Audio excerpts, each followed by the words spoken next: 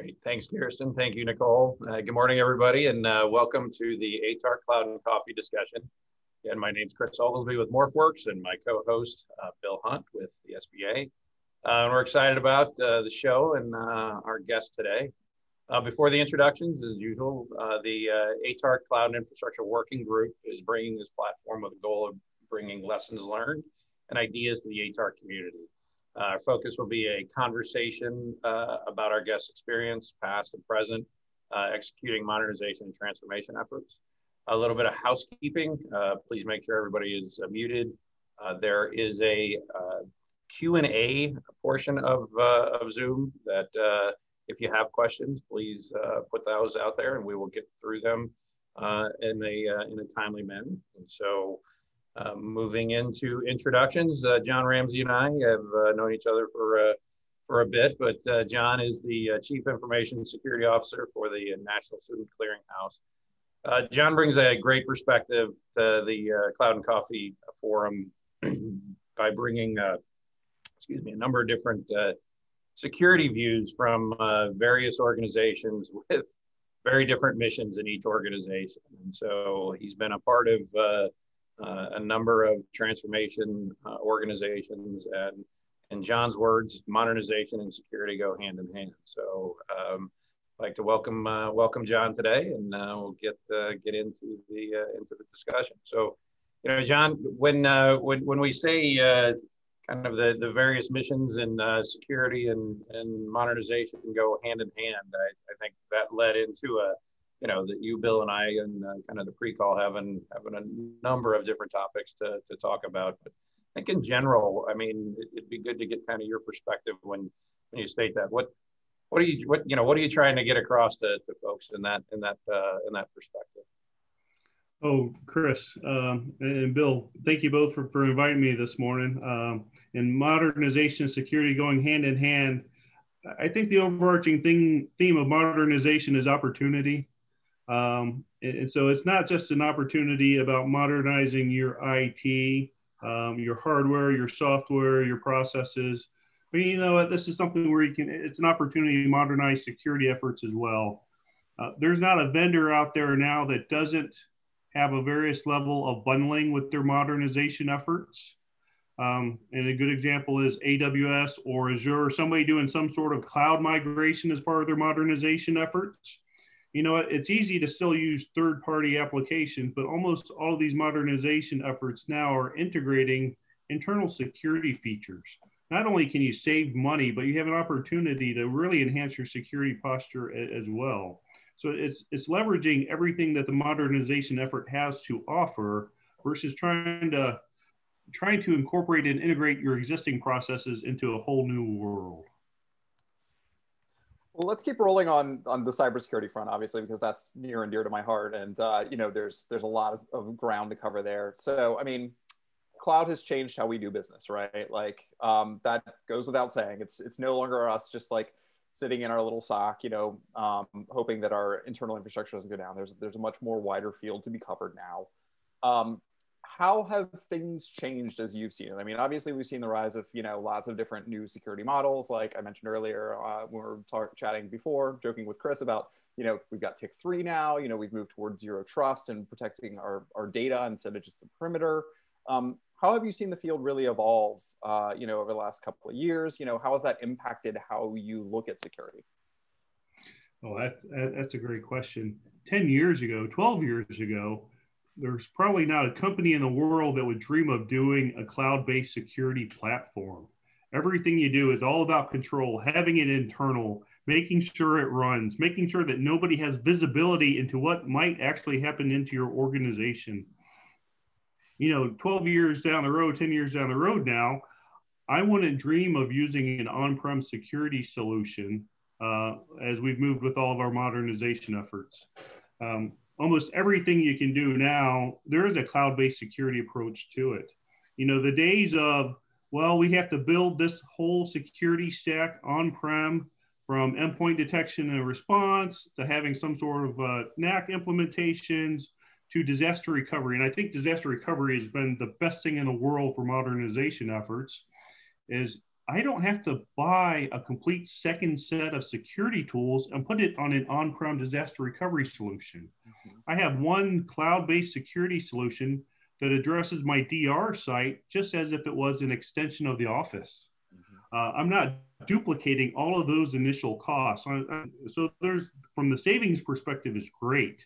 Um, also from the maintenance perspective, you know something that's changed in the last 10 years is you know initially you put up a security tool you almost had to have a dedicated full-time employee to monitor and maintain that technology stack regardless of what it is. And if you had two or three different security tools and i think most security offices probably have an average of about 15 to 20 security tools that's a whole suite of people just to maintain something that shouldn't require maintenance. And that cloud-based approach to this and the modern uh, the modernization of security is the exact same way I'm not wasting any time for my staff to maintain anything that's been modernized uh, from a cyber front. You know, all we have to do is ensure we've got the correct integrations in place, uh, and then it is off and running. And my team is really focused on day-to-day operations and activities on keeping the organization safe versus half of their time making sure something runs right, or the other half of their time making sure there's a false positive and just irritating the infrastructure team because they're having them do something that's no longer applicable. Uh, so, so from that front, I mean, the security community has evolved tremendously, and, and it's no longer in an internal team trying to figure out how to implement a security solution. It's just how quick and how far do you want to expand it now? And it's all the flexibility is just phenomenal, and the cost I mean, there's always been questions on, on cloud. Some organizations say either there's a cost savings, there's not a cost savings. You look at the five year down the road, there's a big cost savings. From the level of effort and safety aspect, cloud based security is just, it's been phenomenal because we're really focused on stopping the bad guys versus keeping the tools up and running. Mm-hmm. So that we've got a couple of questions here, and I, I think the the first one from uh, Greg really kind of ties into uh, probably a conversation that we have a lot here on Cloud and Coffee. And so I'll, I'll, I'll read it. And, and, I think there's a security play, but I, I think this is definitely one that uh, you, Bill, and I have talked about. So with modernization, are there any uh, guidelines or recommendations to avoid lift and shift and really think about taking advantage of major cloud services, you know, AWS, Azure, uh, GPC, and, and you know, Greg, I think we've, we've talked on previous uh, um, Cloud and Coffees around kind of the strategy and planning. Uh, and I think, you know, we've talked to John about this. So John, I don't know if you want to take a little, little bit of your approach to, uh, to those kind of efforts. Oh yeah, it goes back to opportunity. Uh, re-engineering your processes. If you have a poor on-premise process on how you're using your technology, all you're doing is shifting your poor on-premise process into the cloud. It's still going to be a poor process. I mean, so it, it's an opportunity to really re-engineer how you do business and, and how, how effective it is. And, and I'll use um, Office 365. There's probably a good, there's a large customer base that uses Office 365. Um, from a siloed approach, you've got an infrastructure team that does the lift and shift and they move the exchange from on-premise into, into the cloud and they think it's done. From a security approach or from the opportunity approach, you know, there's a whole lot of manual efforts on keeping email safe. It's still the number one attack vector. And there's just between stopping checking links, sandboxes, and everything else. But the opportunity, you know, get rid of all of that on premise security stack dealing with emails and maximize what's in, in Office 365. Um, so, I mean, as far as that lift and shift, you shouldn't lift and shift. It you know re-engineer and and and use what you can. And people do that with data centers too if we talk modernization. It's not just about going into the cloud. People go from an on-prem data center into in um, a major data center an off-premise data center like equinix or someplace out in Loudoun county. And you, you do something like that if you just lift and shift your stack and not re-engineer your networking and your routing and everything else you're just missing out on future cost savings um, because of the little extra planning and diligence to do it during the during, during the transition. I'm not I mean, sure if that answered the question, but that's that's how I would look at it. Don't lift and shift. uh, Well, John, the check is in the mail. I appreciate you uh, saying my talking points for me. Uh, you know, obviously that's the one that I always hit on with people too when we're talking about like cloud at the end of the day. I mean, a lot of people don't do the math and realize government owns all of our own real estate. So we're not paying for that data center in general anyway. So if you're just lifting and shifting and not getting any of these additional capabilities out of it, it's not going to be cheaper for you. So I'm glad that you hit on that. And that kind of ties into the other question we have in the chat here. Um, which is uh, regarding these bundled security products, you know, these add-ons that you get with the cloud services that may save money, um, but are the products as good? You know, and I can say, you know, from where I'm sitting in SBA, we've been, you know, not sound full of myself here, but um, pioneering, you know, the doing new CDM pilots using existing cloud tools and not the stuff that CISA offers, um, because we can get more value out of the native tools and these cloud services than if we're buying additional stuff to dump on top.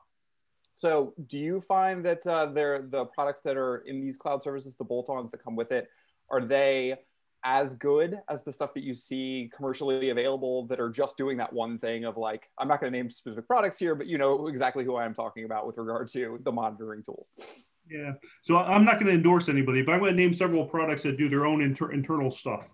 Um, and the first one microsoft and office 365 there is the cybersecurity community is huge. The market just continues to grow and grow and it's hard to know what is the right level of product for the right level of security? I'm of the firm belief nobody will ever know the security better than the manufacturer of the product themselves. Um, you know, the Microsoft and how they evolved to integrate Windows 10 operating system along with the Microsoft security stack, great. Uh, you look at some of these SIEM products that are out there, whether it's IBM's QRadar, Alert Logic, or whoever else, you're not, nobody's going to know how to integrate their product better than the company themselves. Um, Infoblox with DNS, you know, that's kind of the hit and miss of, of, the world is DNS. Everybody sets up some sort of DNS server and hopes that everything works right until it doesn't. But, you know, they're integrating threat capabilities to look at DNS sinkholing. Um, you know, nobody's going to know how to integrate DNS sinkholing with an Infoblox device better than Infoblox. Mm-hmm. Uh, just so as, as, far as from that aspect, maximize what they have to offer. AWS has a security hub. They have 10 different security products internally built to monitor AWS um, servers and devices and EC2 instances. I mean, you know, the last three years, every time you hear a breach, you hear about it being an AWS S3 bucket that somebody is maintaining their own security on and not leveraging the AWS security. You just you're just not going to know the security of the product better than the product manufacturer themselves.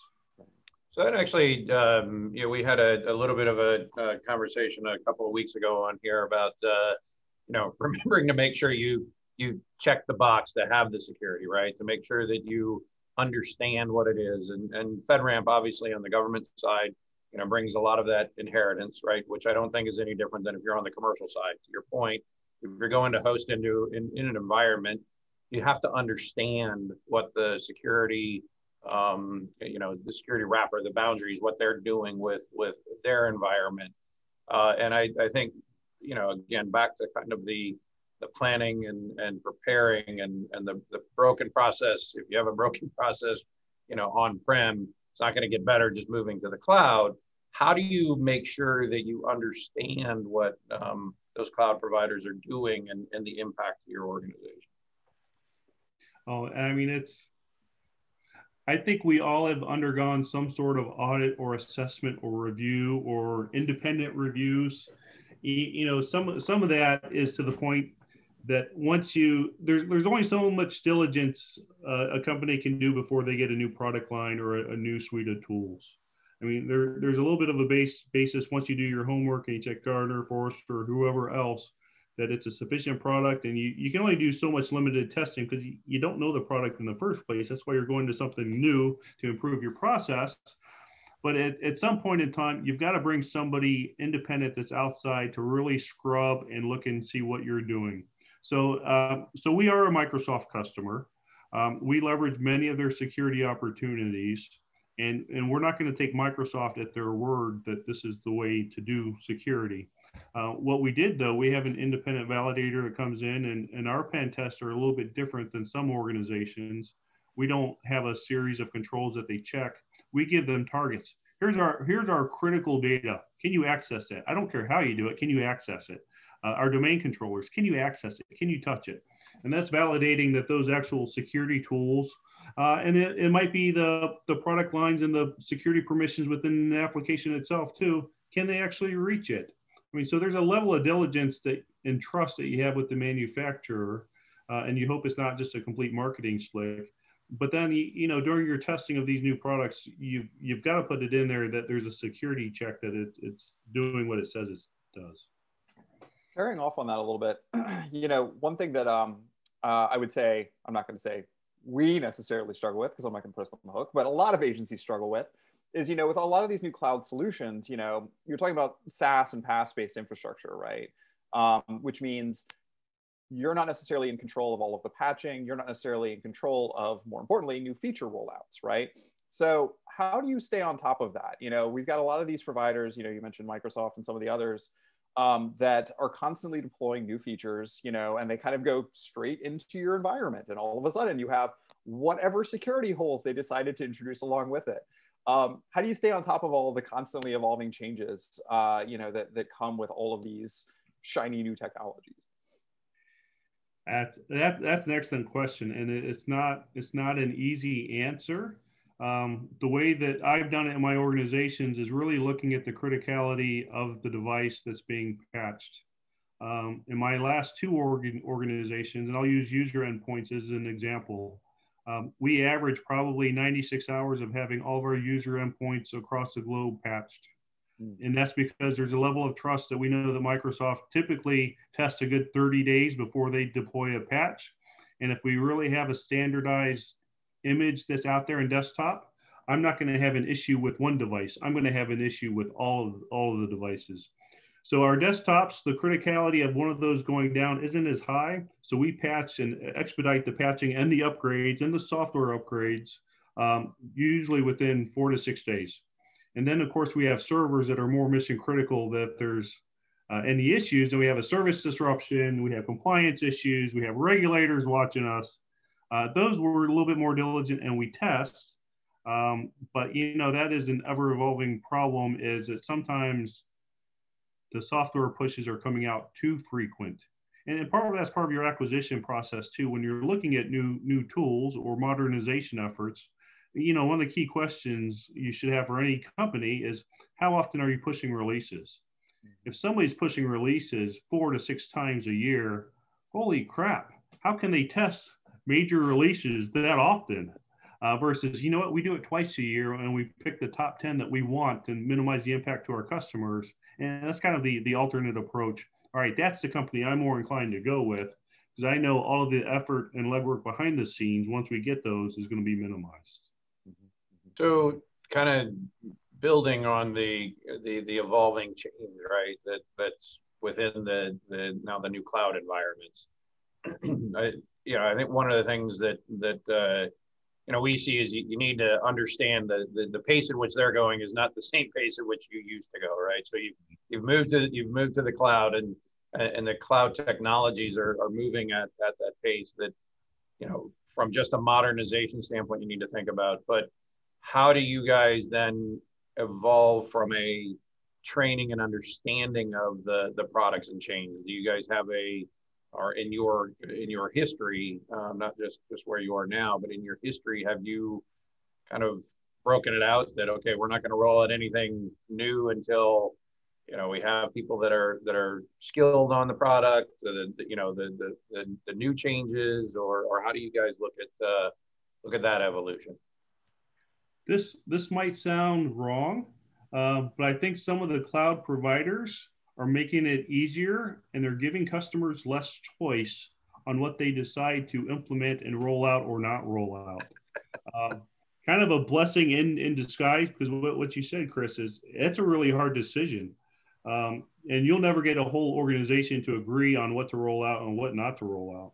You know, if they're rolling out a feature that includes security enhancements, but there's no infrastructure or application or business line benefits, you, you know you've got that internal conflict that you've then got to fight and champion uh, versus somebody that says you know we're going to roll this out. You don't have to turn it on. You can keep it disabled and, and then figure out when down the road that you want to do it. Uh, and that's kind of the trend that we've seen with a lot, of, a lot of the cloud services is that they're being rolled out regardless and sometimes they're disabled, uh, and then they're just notified that you know you can turn this on at your convenience when when when you want to. Now the problem is there's a whole lot of minor changes for most of these cloud services that are coming out all the time. So we have dedicated people that's, for lack of better words, a subject matter expert on this product line that they're watching these notifications and then kind of making those decisions if we enable something or not. And then we do the typical change management process. I mean, I certainly prefer when uh, it's an option to enable versus the things that just magically show up in the waffle and now you have to mm. support it, um, which is always fun. Uh, those are those are great Mondays. Um, but kind of digging down on that a little bit there, um, you know, obviously having people dedicated to like making sure on the security side that like you're up to date on all the features and everything. But how are you keeping the workforce up to date? Um, so, I mean, we're getting all of these new features, and so some of them are customer facing, right? Like, sure. uh, again, I'll just call out like Teams. You know, like everybody's getting Teams deployed, so Teams has new features and new ways of interacting. You know, every couple of weeks. You know, um, Slack, the competitor to Teams, just rolled out. You know, their new uh, workspaces thing, whatever they call that. And I'm sorry, I don't remember the name. Um, so you both have the side of you need to keep your customer base up to date on these technologies you're rolling out. And also internally, you've got your IT staff that need to know all of the whiz bang new features, you know, like your Kubernetes Dockerization of your container stack, coin, whatever they call it this week, you know. Um, how are you dealing with those two sides of it, keeping your customer base up to date and your internal staff up to date in a way that is sustainable and meets your training budget? Uh, training budget. That's always an, that's always a good conversation too. Um, we can get to that too if you want. Right. yeah. Um, so I, will tell you, I've got three people on speed dial, for lack of better words, that I have strong partnerships with in the organizations I've worked at. I've always had a really great relationship with the legal officer or general counsel, just because if there's something that we want to deploy from a security front, there's usually some sort of legal implication that we want to make sure that we're aligned. Mm-hmm. Um, the infrastructure chief, uh, infrastructure director has always been critical too, because this is a person more than likely is going to have to maintain whatever it is that's being deployed out there or integrate it. Um, and then the other one, and a lot of people don't necessarily value this relationship as much as they should, is that marketing and corporate communications chief. Mm-hmm. As an IT guy, I am not a marketer. I am not a communicator. I know what I want and how I want to do it, and I've got the soft skills to communicate that. But I don't necessarily have the extreme beneficial skills of translating IT language into what the staff can understand and appreciate. Um, so I have always partnered with our internal communications teams, our marketing teams, our corporate communications teams. So at the same time that I'm starting an IT, um, an IT value added project, I'm also building that communication strategy at the same time. Um, and so, and, and that's critical. And then depending on how your organization does training, um, we, just like many other organizations, use Skillsoft, LinkedIn Learning. You, know, we include that as part of the communication package to at least allow people to get familiarization with the product before it comes out. Mm-hmm. Um, and so that way they're not completely blindsided when it, when it does. Uh, but more importantly, the communication strategy is probably just as critical as the implementation. And it doesn't mean you send one message out and that's it. You're sending out multiple messages from multiple fronts to make sure that the message is there. You know, Patch Tuesday, um, not only do we have it so it's automated regardless, but you know what? Come Wednesday morning, I'm sending an all staff message to everybody saying, hey, you know what? Patches came out yesterday. You might see this on your device. It's going to happen. And it doesn't necessarily mean that they have an option of not having a security patch deployed, but they're now part of the process of engaging and including those security features. So if we ever have something that's out of band and I send out that note, people are taking action. And, and it's a great feeling. It's not because we have a good security program, because we have a strong marketing and communication plan that goes with it. Mm-hmm. Yeah, and you get to really meet your customers. I mean, through using like multi-channel, the lunch and learns, the video series, uh, viral TikTok dance videos to get the word out there. You know about the features. But You got to meet them where they're at. You know, Bill, your, uh, your your TikTok dance video was uh, was the best. I am not on TikTok for anybody who's listening. It's not a thing. I'm not a youth. Right, exactly. Bill, if I can throw this out there too, so something that we built uh, in my organization is a security ambassador program. So it, it's not just about getting the word from the top down. Mm-hmm. We have a group of representatives throughout the organization that also disseminates our messages from the bottom up. So we've got the message coming from two different directions to really emphasize support and, and listen to that water cooler conversations. That's the bulk of, of the communications in any organization. So they really helped driving that plan too. And I just had to throw that out there because a lot of times people think communication is just somebody sending out a message. No, you've got to figure out the different directions to send that message. Mm-hmm. So how how uh, to the water cooler? Uh, just just and and Greg, I see your question, and we'll definitely get to it. Um, how is that working in the virtual environment with the security ambassador? It's it's working great. Um, so and I'll use phishing campaign exercises. Many of our organizations, we do some sort of phishing exercise where a team will send out test phishes to see how many people click on it. Because of our ambassadors, our click rate went from 23% about 15 months ago to less than 4%. Hmm. It's not because of us doing the training. I mean, that's part of it, but they're emphasizing behind the scene, hey, you screwed up, you did this. And they're already integrated in various virtual team forums with with these various entities within the organization. They're a lot more connected to the staff than I ever will be. Um, so it is. We've noticed no difference or change, Chris. In, in fact, I think it's just facilitated the conversations because they have more direct access to a group of people at one time versus going to the actual water cooler. Yeah, outstanding. So I'm uh, going to pick up on uh, Greg's question here, and I definitely want to take that communication thread to uh, the acquisition because I, I, know your history on uh, on that as well. And but uh, so uh, Greg has a, a, question here that um, basically they're a you know research facility that needs to put IT security guardrails in place. Um, it reminds me of my bowling game, Greg. I, I need those as well. But uh, uh, and ultimately give the key car keys to the researchers and, and take advantage of the you know the as a service platforms so it's it's the the balance between you know security and freedoms. Uh, any recommendations on uh, reference architecture templates uh, to ideally prepackaged secure solutions versus giving the researchers a blank canvas? Yes, I've got lots of ideas. You, you, know, and it's not only my organization here. My previous organization, where I was assistant with the U.S. House of Representatives, there's 435 members of Congress that all have the constitutional authority to act on their own behalf and they have their own freedoms on how they communicate to their constituents. Um, and you're in an organization where almost every email has to be opened and every single aspect of research has to happen because you can't restrict how their constituents can communicate with them. So the question is, how do you open up so much freedom and still keep them safe and protected? Because you know the more you incre- increase security the less the functionality of the applications are and the more the functionality of the applications the less the security. Um, so some of that is being creative and some of it's looking at attack vectors.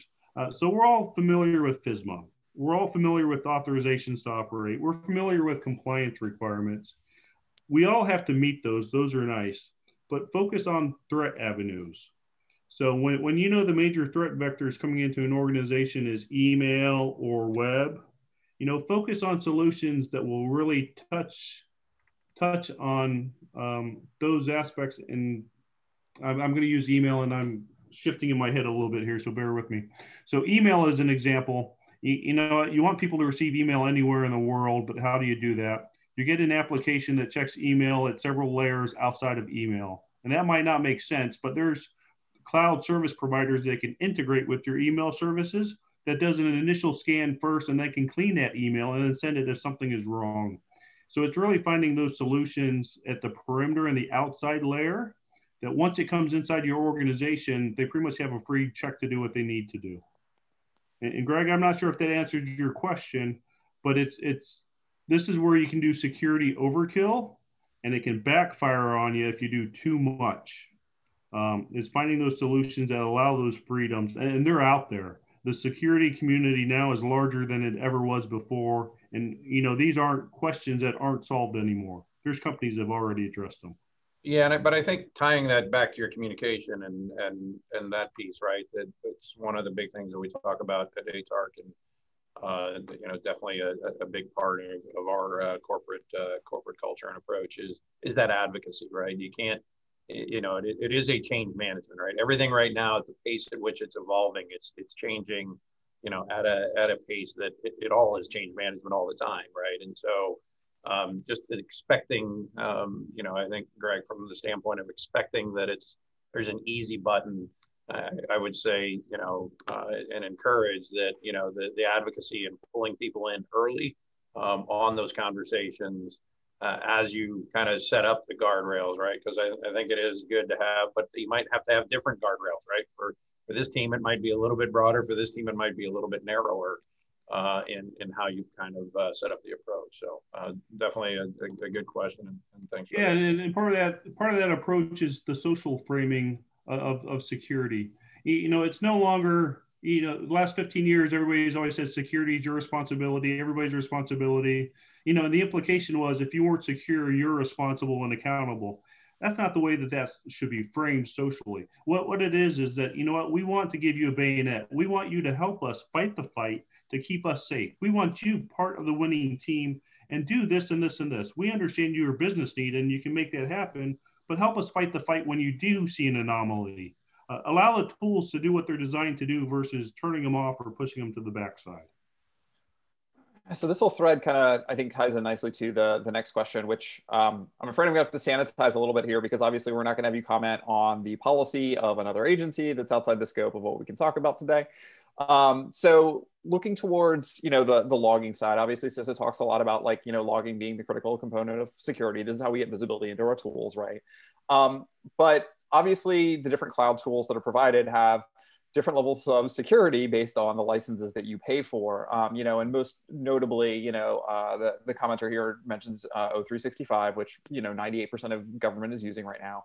And depending on what license you pay for, you get different levels of logging and visibility. Um, can you talk a little bit more about that balance? And I'll also add Bill's personal like gripe on this is also when you're increasing that logging, that's increasing your cost to store, manage, maintain, and view that logging. So where, where do you find that proper balance between every event, every single thing that you could ever possibly look at that you're logging and keeping in a cold archive forever and ever and ever due to some weird records management policy versus, you know, the actual level of security that is necessary to maintain the organization security? So, uh, excellent question. And, and this kind of ties back into earlier. What you don't do when you shift into the cloud is a lift and shift of your current processes. Because um, there, there is a cost. There is a cost to every single transaction, every single processing power that happens, every type of access that goes into it. Um, and you know, so there's some legwork making sure that you're only logging what you need to log. Um, and one, it's one, it's a best practice. Uh, and because if you're just blanket doing a blanket approach and logging everything, that's a huge cost and it builds up quick. And it, you know, the reality is, what are you going to do with that much logs, anyways? So, my current organization, we have about 3 billion security related events a month, um, which is quite a bit. And that actually weeds down to about 100 items that get a tier one look at, and then a tier two. Maybe we actually have 20 events a month that we investigate because our processes have optimized what needs to be reviewed. Um, so with that said, 3 billion events seems like a month. I mean, it seems like a lot, but if you're only keeping them on a 30 day retention, it's not that much because our requirement is 12, I mean, is 12 months for anything that we have to investigate and review. So if you're popping something in and popping it right back out, your cost is minimized. Mm-hmm. Um, and, and, this kind of goes back into everything that a CISO or a chief or a director does. You know, you're you're not a technical expert. You're really a program manager. So when you modernize, you're looking at cost, you're looking at budget, you're looking at schedule, as well as the uh, the implementation of whatever you're doing. So from the log aspect, you really have to understand what you're collecting and, and why. Um, another fallacy that happens out there all the time is people maintain all of their transaction logs. That's good if you need to maintain your transaction logs, but unless you're looking at performance issues of applications, you probably don't need to do that. And if you're looking at performance issues, you don't need all the security events when you're looking at performance issues. So it's really understanding what you're collecting. And then more importantly, and, and we all fall victim to it, we don't decommission or uh, purge our data when we need to purge purge it. If you speak to a chief legal officer or any general counsel, the first thing they're going to say is the longer you keep it, the more discoverable it is. So there's just a cascading cascading effects of keeping stuff longer and not collecting just what you need. Right. So um, tying back to kind of the communication and uh, strategy and, and, and acquisition, uh, you, you've come into uh, uh transformation situations um, in a number of uh, organizations um, the time that I've known you. Um, and so kind of curious the uh, the best way the you know that you approach um, you know approach these from the standpoint of budget being able to to acquire. And, and even now in the in the cloud world the you know the acquisition is still a little bit you know funky both from a government side as well as a commercial side and even on the you know kind of in the, the quasi world in which uh, you know which uh, you've been. Uh, can, can you talk through kind of the you know the lessons learned that you've had things you've kind of bumped into? Because i i know that uh, uh, you, you've had some uh, unique situations that you've uh, you've been able to, to kind of power through with uh, with some approaches. Yeah, it, it, at the end of the day, it's all about people um, and partnerships and, and relationships. Um, I have, you know, I mentioned the marketing team and the general counsel and, and the infrastructure teams. Everywhere I've been, I have always worked with the contract officers. I've always worked with the acquisitions director. And it wasn't me working with them trying to push one of my products. It's me working with them, making their contracts more secure so they understand the security implications of contracts, which just really facilitated any of the acquisitions that I had to push forward. Because by that time, when I'm when I'm submitting something to be purchased, you know, they already have the confidence in what I'm submitting is something that's required because I'm meeting all the requirements that I helped them draft for it as a general blanket uh, clause for all the contracts. So that relationship has always been the, the big item. Uh, and then secondly, modernization isn't a one-time deal. It, you know, it's not just about moving to the cloud and your modernization efforts are done or consolidating your desktops from 80 global locations down to two because it's a shared service. Modernization efforts happen every year. So even if you don't have anything identified, when, when you do your budget forecasting, include line items for modernizing. You might not have specific items, but you know general areas you're going to modernize. You're going to move something into the cloud. You know you're going to need technical assistance in the cloud. Um, what I have never done, Chris, was propose a new project in the current fiscal year. Um, everything has always been forecasted with line items moving forward. And, and most of us know that already. And, and we've done a lot of the budgets with the government to understand that but it's really you know practicing what you're preaching at that point in time. So whenever you come into that new budget year and you've already got the relationships with the contract officers and you've got the relationship with the budget officer already when you've got these line items moving forward they already understand why you're doing it and they're less likely to question it. Now, now some stuff uh, with the acquisitions regulations you can't get around. You, you know for you've always got to do the probably the typical uh, sourcing to three different uh, competitive vendors, sole sourcing, you know, that's just best practices. But when, when, when you do that, it should facilitate that conversation. And, and we all go through the continuing resolutions in October. I mean, so that's a perfect planning time as far as your budget's already been approved on the first, you can't spend until March. You've got six months of incorporating all of your planning to implement in March uh, to have this built out by the, by the rest of the year. And I think the last important thing is, and a lot of us fail to do this, is you've got to deliver on what you're budgeting for too. If you're putting in a line item to to address something, make sure that if, if you don't meet it on one modernization effort, you meet it on something.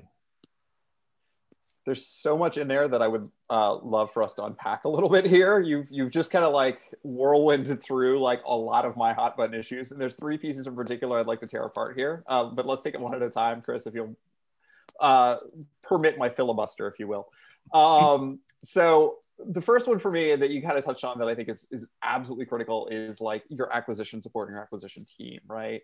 Um, you know, you talked about like IT modernization is, you know, not a one-time thing, which uh, regardless of what presidential cycle we're in, regardless of what buzzword we're using, you know, is eGov and then business intelligence and, you know, now IT modernization, we keep changing the phrases, but it's the same thing, right? And uh, for the philosophy nerds that are that are listening, the audience, both of you, you know, I like to talk about this in terms of like Zeno's paradox. You know, you've got the the Achilles chasing the rabbit. And to get there, you have to go half the distance. Then you have to go half the distance, and you never actually catch up um, because IT modernization is always a journey to like follow that lead. Can you talk a little bit about how you approach that from an acquisition standpoint, and most specifically, um, how you deal with it from making sure that your acquisition team understands the things that you're buying and how we're buying them? Because obviously, we've moved from we're going to buy some servers and we're going to stick them in a room and you know those are going to you know amortize over time and you know we're going to get our costs very different now for paying for things basically like a utility and we may not know what like our cloud costs may be due to traffic as a result of a pandemic and people flooding our website not that that hasn't happened to any of us here oh in, in the purest sense it goes back to an it person ensuring that he or she doesn't talk it to a non-it person. Uh, you know, the contracting people, uh, contract officers are, are, great. They know their job better than anybody. And God bless them. You couldn't pay me to be a contract officer because they know every line of a 300 page contract uh, like their life depended on it. And, and, and it's great. But at, at the end of the day, they don't know security. They don't know IT. So the reality is we become salesmen. We've got to sell it they have to understand it. I mean, they're not the approving authority on the acquisition, they're the approving authority on the contract for it. But you know what? You want them to be part of that fight. Um, I mean, so it's, it's really going down to making sure that they understand how it benefits them. You know, and that's a classic what's in it for me? Let them understand what's in it for you. You've got a contracting program now that's on premise. And you know what? And every time that you boot up your device, and your device takes 10 minutes to boot up because it's doing security group policy objects and security transitions and updates, that sucks. It just does. But you know, if you phrase that, you know, we're going to change your technology so it's a, a cloud-based desktop and it boots up immediately and you can access it anywhere in the world without worrying about taking your laptop home every night. Well, holy crap, that's that sounds kind of nice. And how much is that? You, you know what? Fifty dollars a user a month for a year you know that's not that much so it's it's it's translating and having them understand that but you know what the relationship has to be sincere too though i mean it is a give and take they're going to say john you can't do that because of this well what can i do mm-hmm. well if you take it from this approach and you know you take another two months to do this you know then you can probably get what you want well if i'm planning 12 months out for the next fiscal year to do my project you know those acquisition, what we perceive as acquisition delays versus acquisition requirements, they're not as bad as they seem if you incorporate that as part of your process to get what you need. Mm-hmm. So, are you taking that just to kind of thread into that a little bit more? So, you're you're taking that uh, that, that communication and advocacy that that help help them understand what's in it for them to an outcome based approach versus just a point in time uh, problem solving. Is that correct? Oh yeah, uh, yeah. It's it's and and everything we do from a modernization effort isn't necessarily about problem solving, but how are we making our world better for the next five years until the next modernization effort? I mean, technology. What I think technology doubles every two to three years? I mean, so that modernization is always happening. I mean, that's the whole core of refresh cycles for hardware devices.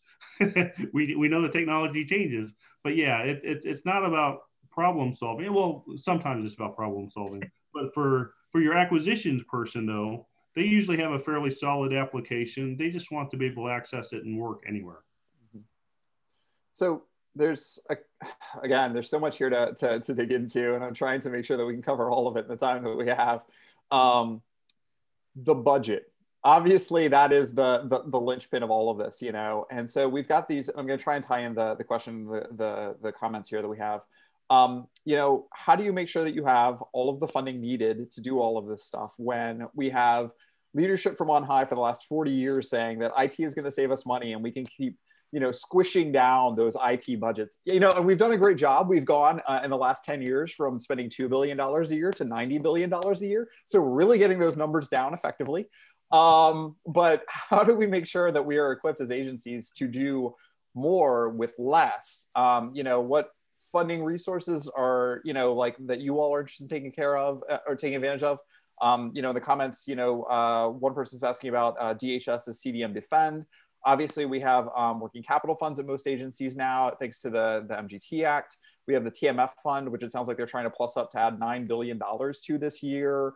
Um, you know, but that's kind of a payday loan, so probably not the best one for all agencies. Um, you know, how do you make sure that you have the critical budgets necessary, educate all the way up to senior leadership that these things need to be invested in and that we need to spend more money on IT? Um, and what other flexible methodologies are you all taking advantage of, you know, to make sure that you have the budget you need to do this stuff? That's that's a lot of questions into one. Uh, I know, and uh, you know, you can just cover the ones you want to talk about and ignore the rest. I was gonna I was gonna pile on, and and when you're doing that, how do you build in the uh, kind of the, the fire drill uh, budget? I mean, how do you build yeah. in into that a, a risk, right? So from a security standpoint, if there is you know, an, an issue, are you giving up something uh, in the future to solve a problem today? So just it, it probably kind of all is in the same kind of planning and and understanding what's available conversation. No pressure. Yeah. None at all. We have 15 um, minutes if you need it. So yeah, so you can you can do it. Um, so first and foremost, budget planning doesn't start four to six months before the end of the fiscal year. Budget planning starts the first day of the new fiscal year. And if, if people aren't looking at it from that approach, it's they're they're gonna have a harder time when they're asking for money.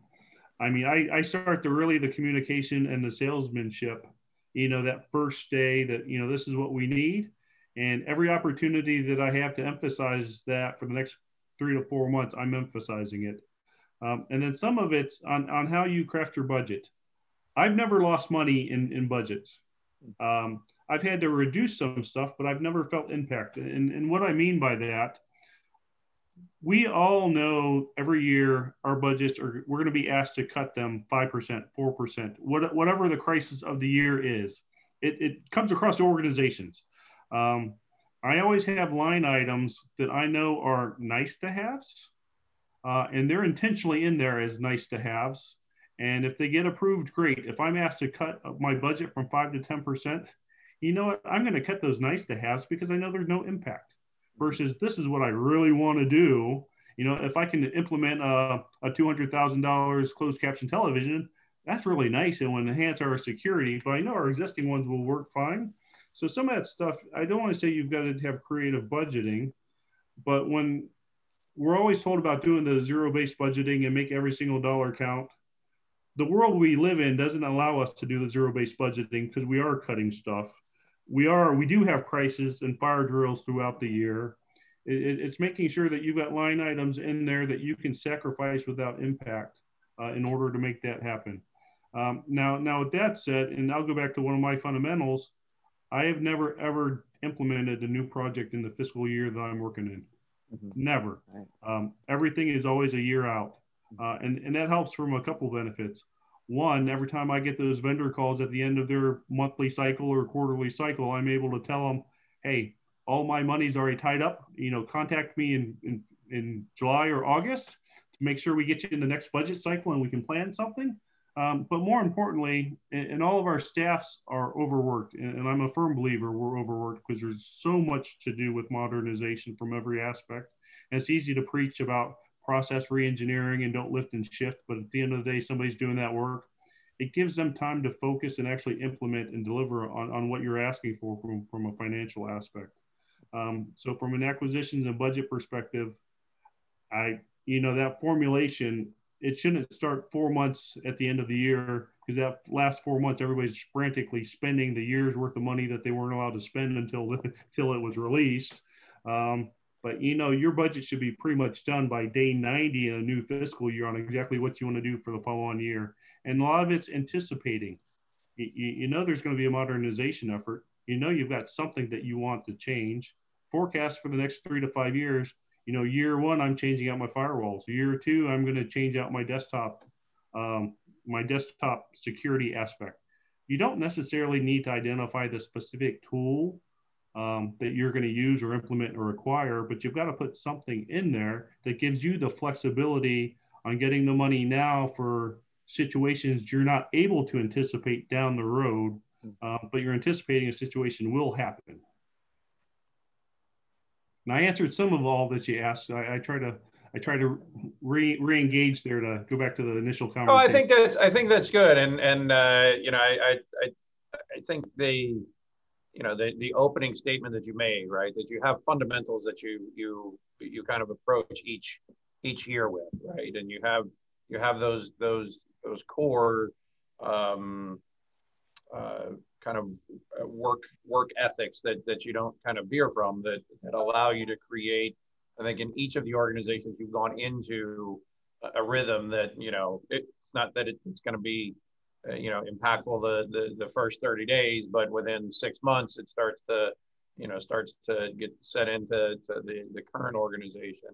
You know I, I, I believe that you know the the key that um, you know that you you touched on though is that planning and understanding and it's the you know the, the and, and what we should all be doing right the, the nice to haves the, the need to haves and, mm-hmm. and whatnot so that way if, if there is a fire drill you know that you can you can pull something off and go okay well that's just going to have to wait right that was that was something that we really wanted to do but you know it, it's just going to have to wait and having having that that understanding i think is, mm. is key because then depending on what you're doing right will impact whether or not that that nice to have is even a need to have anymore, right? Does it does it become uh, does it does it in, in, in you know increase in that? So um, so I guess it, to, to get to my rambling, when you're when you're looking at those, how are you prioritizing um, that list of of nice to haves and need to have?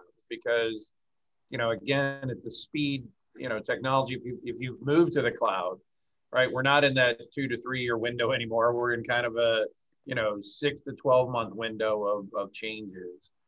How do you, how do you start to balance that? Because you almost don't know what's going to come at you, right? In, in, you know, in six months from when you start planning or three months from when you start planning that it's kind of like, oh crap, that all of a sudden became a need to have because of what, what changes were here. So is that something you review monthly, quarterly? How do you, how do you kind of work through that?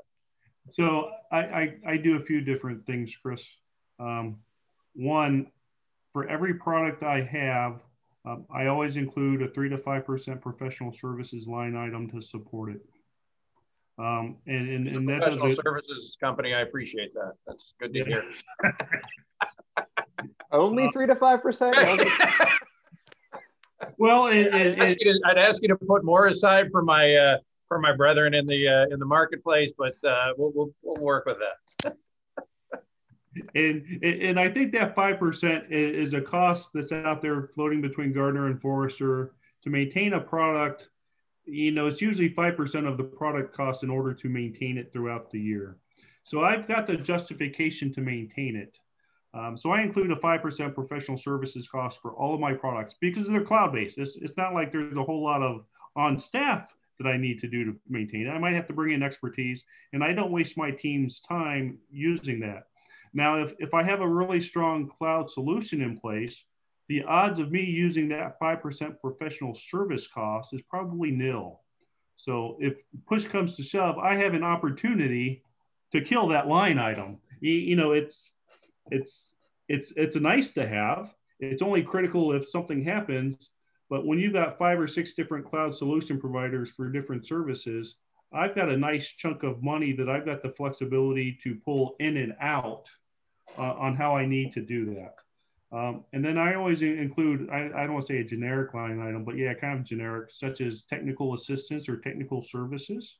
And justification is I'm not going to waste $50,000 of my staff's time when I can spend $20,000 on bringing a professional services person in, regardless of what the situation is, to troubleshoot that. Now, the first year, you might find yourself using that $20,000, but as your processes get built and refined, year two, year three, and year four, that 20,000 becomes 10,000, becomes 3,000. And now I've got a nice 20K cushion if I've got to cut something or if I need to repurpose it to something else for that fire drill that happens. So some of it's just anticipating that situations are going to happen and, and where can you shift that. And then something else I'll throw out there too. We all have been through budget cuts and, and budget sweeps. They, they happen. Um, this might sound bad, but the easiest way to avoid that budget sweep and that budget cut, don't wait till the end of the year to spend your money I mean, the, the moment you're able to spend and get your acquisitions in place, I hate to say it, it's almost a competition against the rest of the organization. Um, if you've got it forecasted to have this done in January, and you know there's a lot of technical issues, and I just can't get to it in January, and I might get to it in February, and the reality is March I start the acquisition, and then May I'm getting it. There's a lot of time between January and May for something to get cut. And if you have done an authorized acquisition and you've purchased your stuff as soon as it's released and you're able to, and your cloud subscriptions are easy examples, you, you know you're going to renew them. Have them set in December or January, so, so the moment the continuing resolution is over, that you can push the trigger and get the money spent. Mm-hmm. You still have your cushions if something happens, um, but you know what? You're not worried about cutting down a service that you've already planned for and budgeted for. Okay, and just just for my own personal, your beginning your fiscal year is when, so I should call you to use that five percent professional services fee. December 26th. That's when my... after Christmas. I was gonna... don't ever call a government employee on December 26th. official position here. Right. Um, exactly. So we've only got a couple of minutes left, but I did want to ask you one one final thought here. So, um, you know, in just a minute or two, if you can, can summarize your your many many thoughts on it. Um, obviously, you know, we have a new administration. We're seeing, um, you know, some shifts and some changes.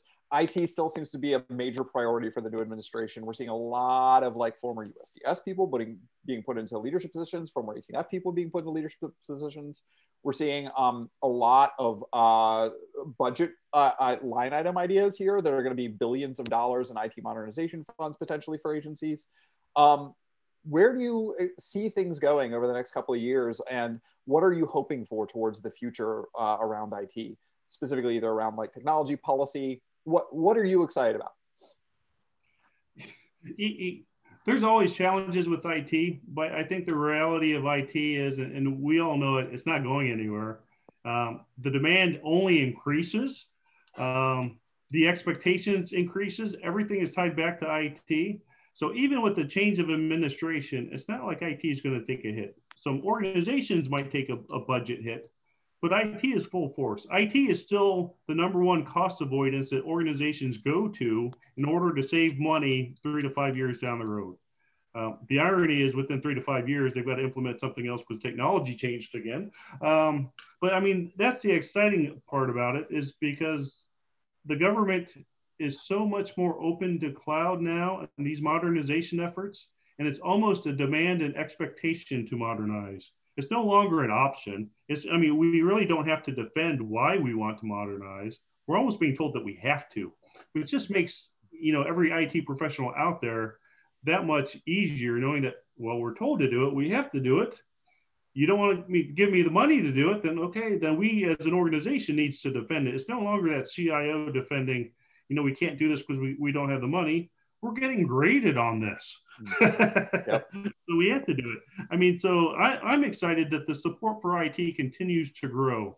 Uh, back in 2003, when um, FISMA came out, you know, organizations were just flabbergasted. How, how do we implement all the security that's being required, and we don't have the money to do it? I mean, so it was it was really hard to do. That's that's not the case anymore. It's, it's great. It's, that's exciting because uh, it's, it's only getting better. Excellent. Excellent. Excellent. Well, uh, just uh, John, I want to say uh, thank you for the time. We've got uh, a little, little um, a few minutes left. Uh, the, the one of the things I do want to put out there that for the attendees, we have our next session on February 18th. again, same ATARC time, same ATARC channel uh, with uh, Nancy Gillis, who is the CEO of the Green Electronics Council. So bringing kind of sustainability in, uh, into the modernization conversation. Um, John, this has been, as always, I always enjoy our conversations and uh, very helpful. And and uh, again, uh, I'm going to put one comment out there. There was, you know, kind of a, a question around. Uh, needing a little bit more help on on um, uh, you know uh, some guidance. ATARC has a number of working groups uh, reach out to Kirsten or Nicole uh, to uh, to feel free to jump into those with uh, a number of uh, experts from uh, you know academia, industry, and and government. But John, thank you very much, and really thank enjoyed you. it.